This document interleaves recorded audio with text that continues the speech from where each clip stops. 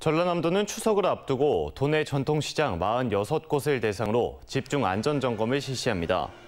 전라남도는 이번 점검을 통해 코로나19 방역과 함께 전기, 소방, 가스 분야 등을 살펴보고 도민들의 안전한 장보기를 위해 현장에서 시정이 어려운 위반 사항도 추석 이전까지 보수와 정비를 마친다는 계획입니다.